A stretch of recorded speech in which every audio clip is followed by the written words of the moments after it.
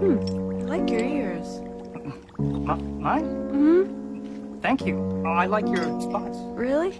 I used to cover them up, but, uh, you know,